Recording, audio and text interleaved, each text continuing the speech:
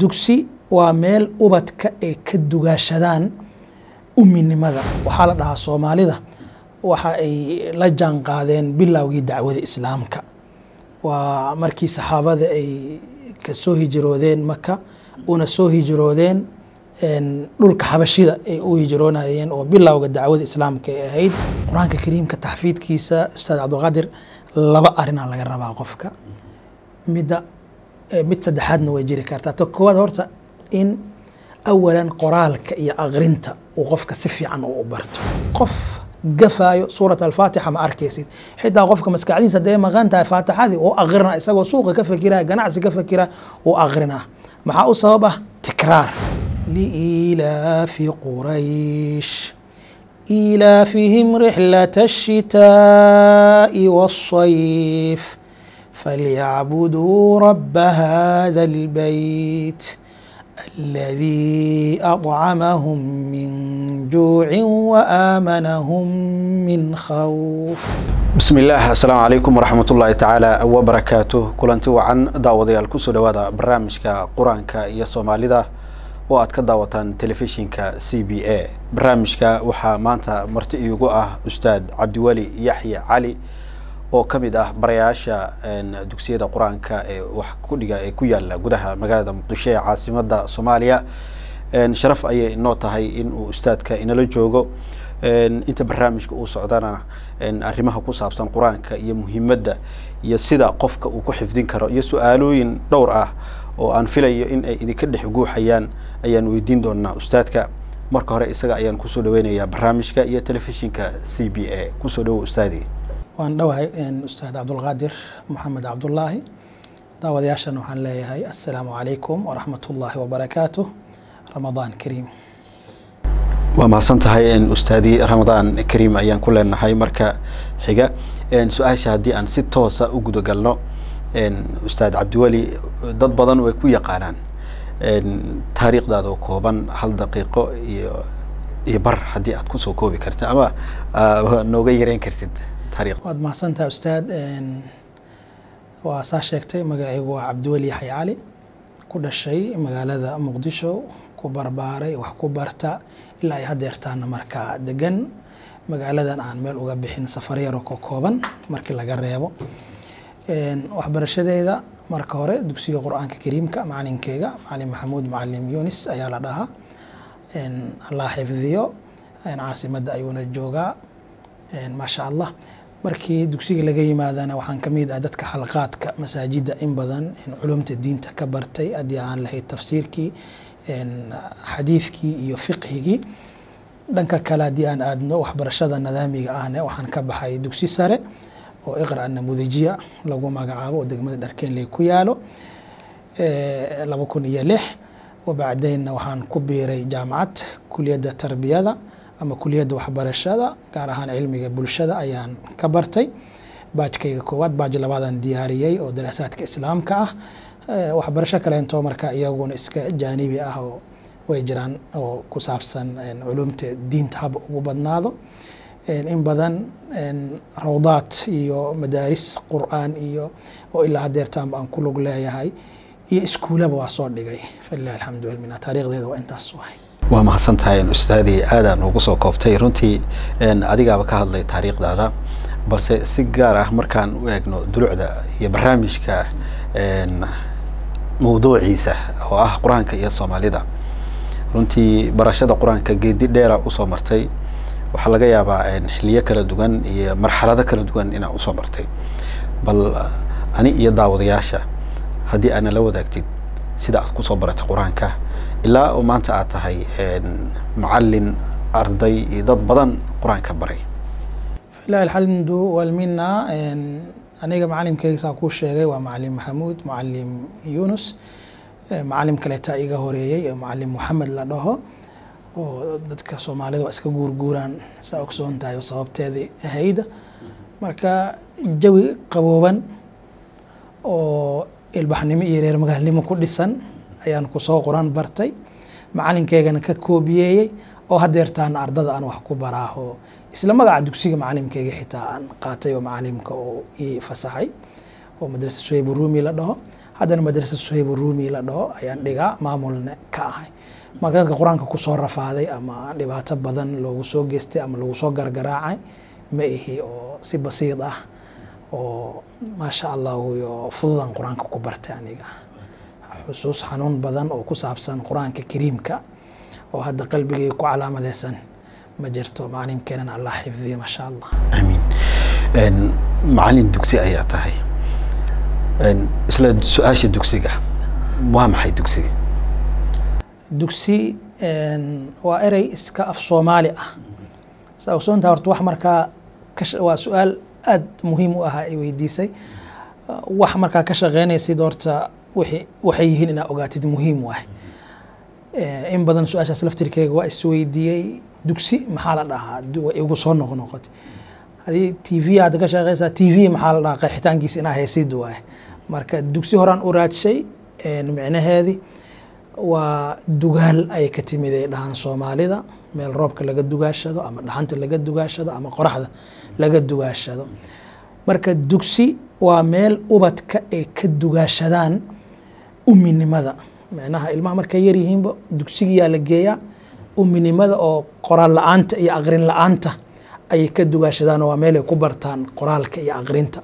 Sidoo kale waa meel ay ka dugaashadaan akhlaaqda xunxun. Canuga markuu soo barbaaraba si akhlaaq wanaagsan iyo tarbiyad wanaagsan oo u helo waa inuu markaas malja-aas ama dugsigaas ama dugaalkaas uu helo waay marka dugsi saasaa ku qeexi lahaay waa mahadsan tahay si wanaagsan aa noogu qeexday ustaadi. Waayo kala duwan iyo xiliyo xiliyo kala duwanaa la soo maray. Marka loo eego barashada qur'aanka sidaa ka dhawaajisay dugsiga ama dugaalka sida ay soomaalida ugu magac dhowdayba xiliyo iyo xaalado adigu uu soo maray. Sidee uu ku fidaa isleedahay oo marka loo eego dugsiyada qur'aanka kariimka faafintaanta ama fidista dugsiyada qur'aanka kariimka baadiyo iyo magaalaba. Waxaa la dhahaa soomaalida. Waxa ay la jaan qaadeen bilowgii dacwada islaamka. Waa markii saxaabada ay ka soo hijroodeen maka una soo hijroodeen dhulka xabashida ay u hijroonayeen oo bilowga dacwada islaamka ay ahayd. Marka saxaabada waxay soo mareena la dhahaa meeshan zaylac la dhaho oo markaa hoostagi jirtay imbiraadoriyad oxomiya lagu magacaabo ardu xabasha. Markaa hoostagi jirtay oo hadeertaan waqooyiga soomaaliya waaye. Marka xilligaas ayay madaarista qur'aanka kariimka iyo barashada qur'aanka kariimka iyo dacwada islaamkaba soomaaliya mi magaalada ay ku faaftaa la dhahaa marka intishaarkiisa. Halkaas ay salka ku heesaa. Waxayna soomaalida dhexal siisay arrintaas iyada in badan inay qur'aanka kariimka ay bartaan oo soomaalida xufaad badan ay leeyihiin oo aaday qur'aanka ay u xifdisan yihiin. Dhanka kale markaa ka eegtidna boqol kiiba toddobaatan waxaa la dhahaa qoraalka iyo aqrinta luqadda carabiga soomaalida way ku fiican yihiin iyo qaar ka mid ah qur'aanka kariimka. Marka intishaarkaas ama faafitaankaas muddadaas dheer ee dugsiyada qur'aanka kariimka ayaana loo tiiriya arrintaas iyada ah waxaa jira erey baxay in uu sax yahay in kale ma hubo. Dadka soomaaliyeed waa dad ahlul qur'aan ah. Maxaa ka jira? Waa sida hadda kuu sheegay boqol kiiba toddobaatan waa taa ku dhahay luqadda carabiga qoraalka iyo aqrinta soomaalida iyo qeyb ka mid ah qur'aanka kariimka way yaqaaniin. Ahlulqur'aan inay noqdaan soomaalidane waxaa u sabab ah faafitaanka dugsiyadaas qur'aanka kariimka midda kale into ahlu qur'aan inay yihiin waxaaba ku gara kartaa ramadaankii oo kaleenta ilmaha yaryar ee xufaada ahee ku tartama qur'aanka kariimka. Caalamka oo kale markaa aragtida inta soomaaliya kaalmaha hore ka gale marka maragma doonto waa soomaalida inay ahlulqur'aan ay yihiin. Waa tahay qofka raba inuu qur'aanka xifdiyo. Maxaa looga baahan yahay?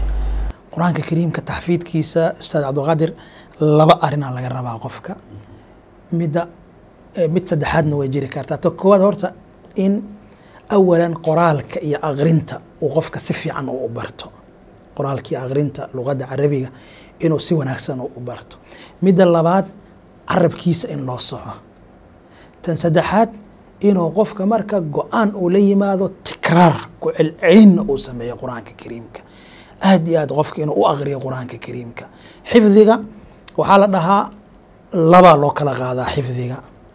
Midne waa xifdi iska caadi ah. Midne waa xifdi qalbiga dega. Matalan hadda qof gafaayo suurat alfaatixa ma arkaysid. Xitaa qofka maskaxdiisa dee maqan tahay faatixadii oo aqrina isagoo suuqa ka fakiraya ganacsi ka fakira oo aqrinaa maxaa u sabab ah? Tikraar. Shan salaadooda lagu tukadaa. Rakac kastaa la aqriyaa. Marka maalin kasta tikraarkaas la sameeyey waxay noqotay xifdi oo qofka qalbigiisa dega maskaxdiisa dee maqan tahay xitaa carabka waa micnaa xifdigaas xifdiga. Oo lisaaniga waa carabka waay mid midka kalentana waa midka maskaxda ah waay waa xifdisaa isdhaaday tikraar ma sameynin inaad dabdiso ama aad itqaaniso way kugu adkaanaysa fududna waa u iloobe marka markaa soo kooba su'aashaadii oo ah qofka qur'aanka xifdina maxaa laga raba saddex arrimood le laga rabaa. Ko inuu farta si fiican u barto ثانيا in uu maxaan ku dhahayo carabkiisa tasxiix wanaagsan loo sameeyo ثالثanna in markaa qur-aankii uu u samro oo tacaahud uu sameeyo si fiican oo ugu celceliyo oo aqriyo tikraar uu sameeyo waa tahay qiraa'aadka imise qiraa'eed ayaa qiraa'aad cashara adiga ti ilaa iyo toban qiraa'o ayaa la gaarsiiyaa qiraa'aadka nacam maxaa ka mid ah wallahi xafsado hadda aa baranaa ka mid ah iyo soomaalidu waayihii hore qiraa'ada adduuri abaa camra ay baran jireen. Waa tahay marka aad fiiriso kala duwanaanshaha xilliga hore kolley waxaa laga yaabaa in xilligaasi qeyb kaga soo gaartay oo miyiga ama maqaal ay kugu soo gaaray. Labadaba mid ay tahay adaa noo sheegi doono. Iyo hadda marka aad fiirisay kala duwanaansho makuu muuqdaa? Maxayse ku kala duwan yihiin oo miyi iyo magaalo mise? Iyo xilliyadii hore soomase guud ah. Si guud ah nacam ha si guud markaa u fiirino sida aad sheegtay. Matalan waayihii hore madaarista qur'aanka kariimka basida iska ahaayeen? Baadiyihoo kale markaa tagtid dadka tuulada degan macalinay qabsan jireen. Macalimkaas maxaan ku dhahayo waxaa laga fiirin jiray taariikhdiisii hore inuu yahay qof nadiif ah oo sumcad xumo iyo hafasho iyo waxyaabo turunturooyin oo dhanka akhlaaqiga aan lagu aqoonin qof micnaha ku soo hana qaaday dhowrsanaan inuu yahay qur'aankana uu xifdisan yahay. Marka macalimkaas noloshiisa dadka baadiyaha iyagaa kafaalad qaadayo oo xoolay u sameynayaan beeray u sameynayaan iyagaa u falaayo xoolaha ardada u raacayso waqtiya kamida dadka deegaanka waa loo khidmeynayaa magaaladoo kale markaa timaadidne maxaan ku dhahayo macalimka isaga isku tashanayo hadduu madrasada dhisaayo haddii maxaan ku dha nolol maalmeedkiisana waxay noqonaysaa marka wax yaro oo oo oo xoogaa yaro ilmaha bishi oo ka qaad qaato ay marka madrasada waayihii hore iyo haddeertan su'aashaadi marka aan u imaado halkaasi iyadan ku lug yeelan kartaa hadmaa dadka tiknolojiyadda iyo aqoonta ay korodho hadmaa marka bani aadamka waktiga isula bedelaya waaye. Anoo kale markaan ka soo qaada hadda muddo ilaa shan iyo toban sanadood ayaan ku dhex jira. Sanadihii koowaad madrasada sida ay ahaa jirtay jid dhinaciisa la iska dhisa jiray. Macalimiintii soo dhisataa a ka mid ahay. Loox iyo qad aa la isticmaali jiray. Macalimiintii dad wax ku soo bareen a ka mid ahay. Loox iyo qadda soo isticmaalay. Kadib jaamacadaha la galay ilmihii waa la dili jiray. Qaacido waxaa jiri jirtay la dhaho laka alaxmu waliya alcadmu micnaha canuga hilibkiisa ada iskale macalino. Saartid ka yeel waay saartid utum waay. Laakiin lafihiisa iyo ilaali waay isha iyo madaxa iyo lafaha hajajabinin ilmaha in aada loo dili jiray iyo waayihii hore saas aa jirta waa la soo gudbay waxbaa la bartay jaamacadaha la galay kuliyata tarbiya ilmaha sida lala tacaamulo sida wax loo baro. Haddana maxaa meesha ka baxaayo?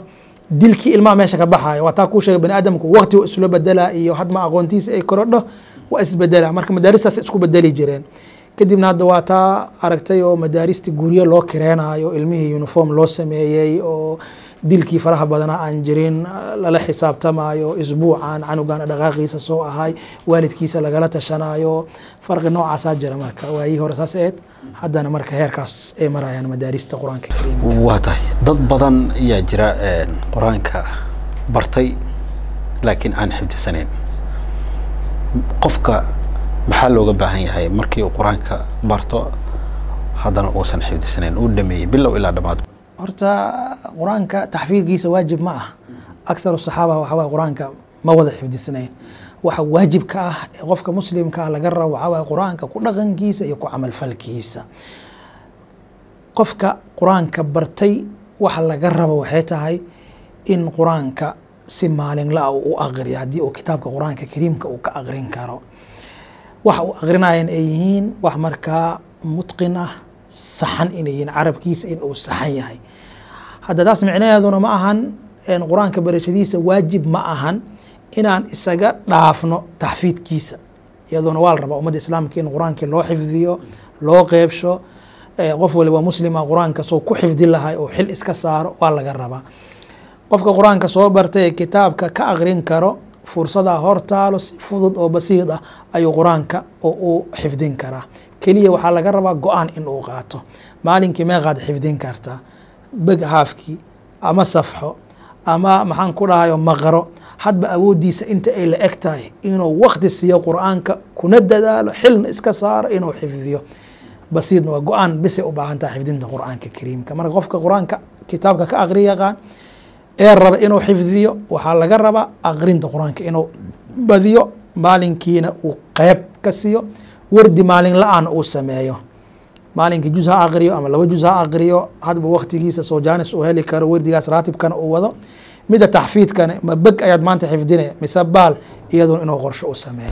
Waata ustaadi haddii aan in yar ku laabano kala duwanaanshaha waagii hore iyo xilligan hadda ardayda bugaag ayaa la yidhaahdaa soo iibsada. Bugaagtiyaa lagu qoraa lagu guriyaa. Laakiin xilligii hore waxaa jirtay in ardayga uu loox qad uu soo qaadan jiray bal iyadana ka waran marka loo eego xagga fahamka iyo hingaada ardayga farqi ma u dhexeeya isleedah farqi weynaa u dhexeeyo. Wax la siistane ma jirto ani aragti ahaantayda waayihii hore qur'aanka sida loo baran jiray oo dhanka farbarashadana aaday ugu sahlanayd habkaas oo ilmaha looxa ay ku qori jireen taxfiidkana aaday ugu sahlanayd. Lianna macalimka ardayga aayaddii u yeerinayaa ardaygii uu soo wuu yeersanayaa wuu qorayaa hadmaa wixii aad gacantaadii ku qoraysidne? Hadmaa wax meel ku qoran aad aqrinaysidne? Farqiga u dhexeeya dhanka taxfiidka qoraalka waxa uu ka qeyb qaadanayaa wixii inay indhahaagi ay sawiraan maskaxdaadi ay ka daadegaan adaa gacantaada ku qoranaya markaas. Marka waayihii hore midda aheedoo ilmaha in looxa loo yeeriyo ay qortaan waa habka ugu wanaagsan ee qur'aanka lagu xifdiya waay ma teknolojiyadda hadda saameyn ku yeelata marka? Hadda canuga dugsi loox ah waxaaba lagu leeyahay dadkii nadaafad iyo ilbaxnimo iyo reer magaalnimo iyo aatimin iyadana waxaa la rabaa laftirkeedii in la xaqiijiyo. Hadda matalan buwaagtoo kale ilmaha qur'aanka loogu qoray way jeexjeexayaan laftirkeedi waxa waaye ma haboona. Kitaabka qur'aanka oo kaleente laftirkeeda waxaa la rabaa nidaam ilmaha ay ku ilaalin karaan ama ay ku sugi karaan iyaduna in laga baaraan dego wacyigelin laga sameey aaday u fiican tahay. Laakiin looxa ardayga uu qoraa markuu itqaaniyo oo tiraa. Meel kalen uma gudbaayo. Intaas u qoranoo maanta dham ku celcelinaa laakiin kitaabka qur'aanka waxaa arkaysaa canugii kitaabkii hay baalkanuu soo gedinayaa baalkanuu gedinayaa meel kaloo fiirinaa ma u jeedaa iska ciyaalna waay ha iska ciyaal waay. Laakiin marka looxa loo yeerinaayo wax yaroo koobanaa loo yeeriyey looxii soo qortay oo macalimka ardayga haloo xifdi kari awooddiisoo ogaaday maanta dham intii ku mashquula ma gacantoo la raaca waa aqrina waa taataabana waa taataabana laakiin midkaa reer magaalka waxaa laga yaabaa casharka maanta adhaad halahan ku celi. Marka begaan aayaddan inuu ka aqri a ka sugayso ase begaasoo fiifiirsana ama maqradaasooba fiifiirsan waa ilmo leba mogtahay maanta laakiin arrintaas buwaagta ah dayac badan saa hadda ka dhawaajisaba yaa ka dhasho ardayda inay jeexaan oo kale waalidiinta iyo macalinka maxaa looga baahanya marka si loo ilaaliyo qur'aankii buugga ku qornaa loo xifdiyo meel hagaagsan loo dhigo maxaa loo baahanya waalidka iyo macalimka waxaa laga rabaa ilmuhu way kala yihiin mogtahay canug waxaa jira horta canug afar sano jir ayaad arkeysaa oo buug wax loogu qoray khalad waay taas. Canug shan sano jir aad arkeysaa oo buug wax loogu qoray. Lix sano jirka laftirkiisa ani waxaa qabaa canuga toddoba sano jirka ah.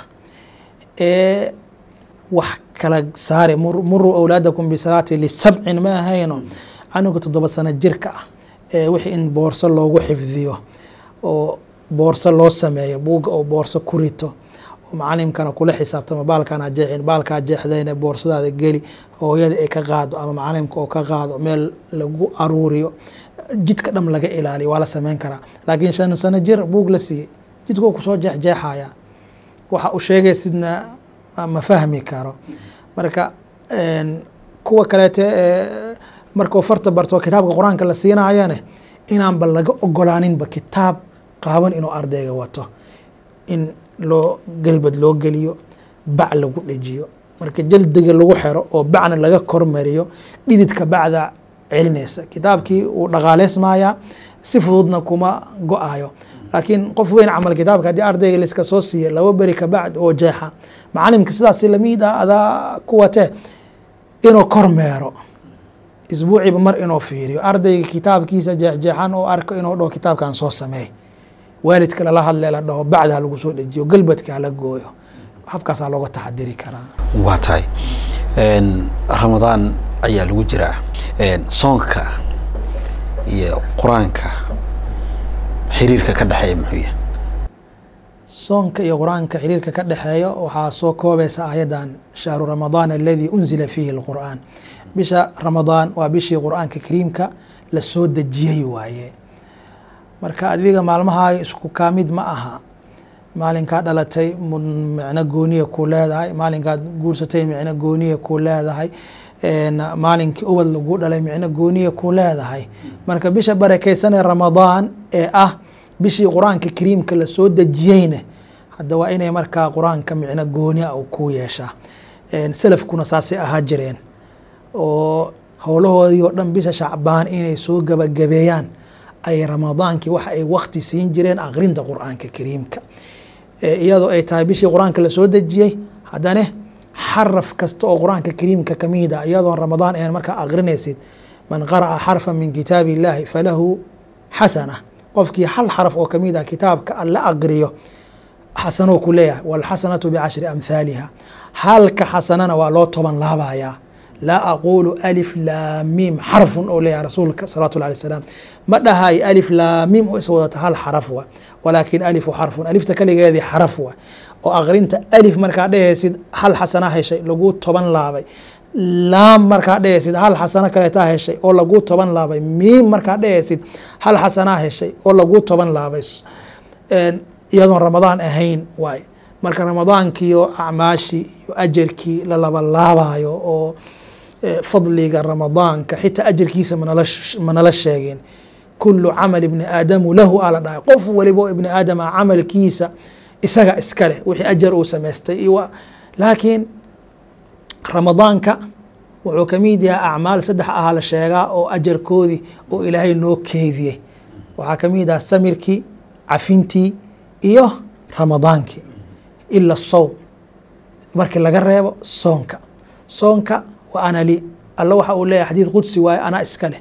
Wa ana ajzii bihi addoonkeygan anaa ka abaalmarinayo marka ramadaankii samirkiina waa kugu jiraa cafintiyaa kugu jirto maxaan ku dhahayo soonkiina waa kugu jiraa marka intaasoo acmaalna way kuu barbar socotaa aqrinta qur'aanka kariimka makaano gaaray leedahay sidaan kuu sheegay salafka. Qaarkood waxaa la helaa taariikhda afar iyo labaatankii saac mar qur'aanka dhammayn jiray aan ka kici jirin kalaamka alleh oo qiyaamkii iyo aqrintii wakti ku qaadan jiray. Ugu yaraanna waxaa laga rabaa qofka muslimka ah tobanka cishaba mar inuu dhameeyo qur'aanka kariimka si fadligiisa bisha barakeysanee ramadaan oo u muujiyo. Sidee marka uu ku qeybin karaa qofka qur'aanka dhameeyey bisha ramadaan? Jadwal ahaan. Xifdiya miya.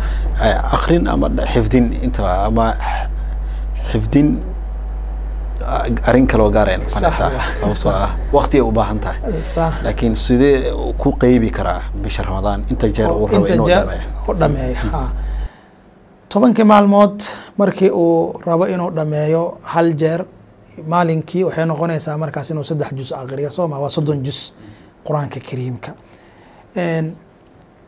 Haddii isaga mashquulkiisa iyo howlihiisa kale ay fara badan yihiinne salaad kastaa ka gadaal oo wuxuu siin karaa laba baaloo kaleente inuu ka aqriyo ama afar baaloo kaleente inuu ka aqriyo.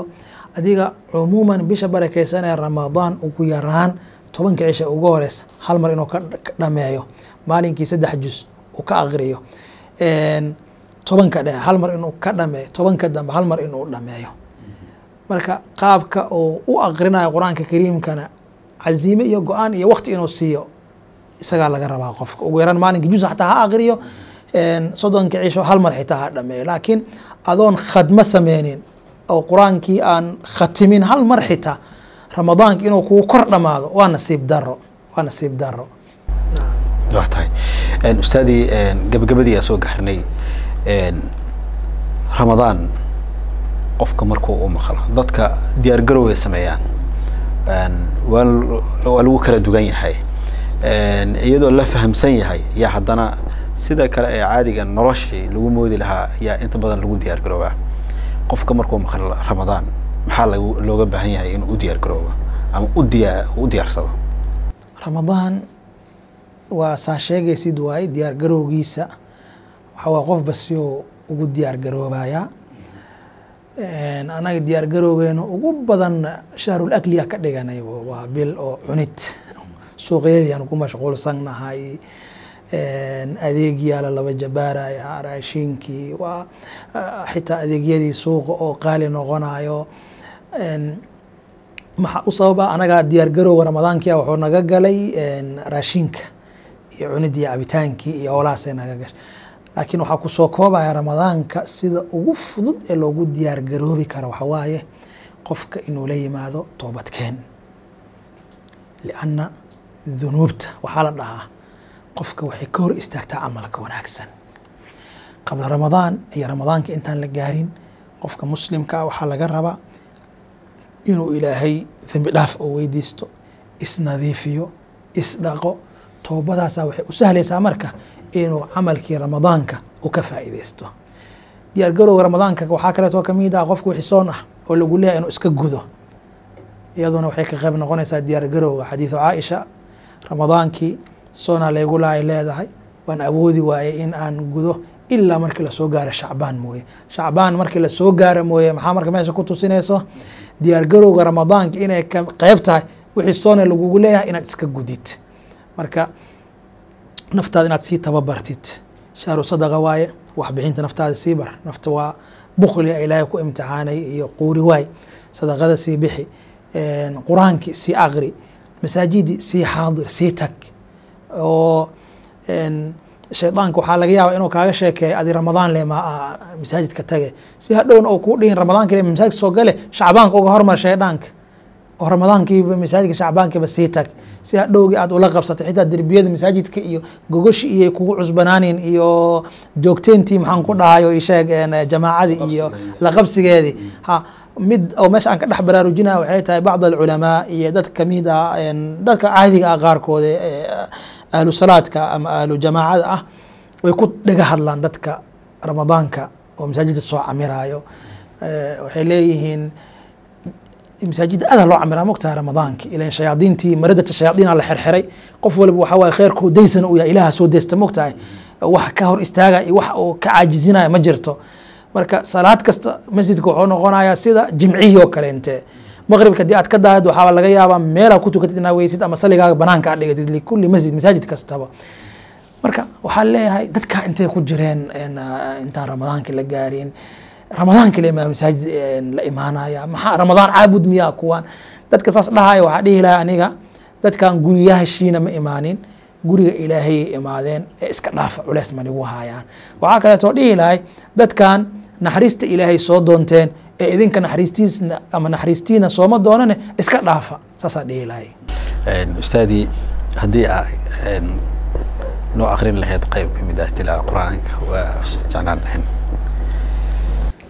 بسم الله الرحمن الرحيم أعوذ بالله من الشيطان الرجيم بسم الله الرحمن الرحيم لإيلاف قريش إيلافهم رحلة الشتاء والصيف فليعبدوا رب هذا البيت الذي أطعمهم من جوع وآمنهم من خوف صدق الله العظيم أمني درج إله نسيه guud ahaan daawadayaal intaas ayaan ku soo gabagabeynayaa barnaamijkii qur'aanka iyo soomaalida oo uu maanta marti igu ahaa ustaad cabdiweli yaxye cali oo ka mid ah barayaasha dugsiyada qur'aanka ee magaalada muqdisho ee caasimada soomaaliya. Ustaadii aad baad u mahadsan tahay waktigaagana waan kaaga mahad celinaynaa in aad nala wadaagto bulshada soomaaliyeedna aad la wadaagto su'aalihii aan ku weydiinay jawaabahooda. Waa mahadsan tahay kani waa bremiyer walad lacag ugu dir saaxiibkaaga. Ugu adeego meel kasta. Ku bixi biilasha. U dir hana lagaaga soo diro meel walba. Ka maamulo akoonkaaga iyo kaarkaaga bremiyer bank.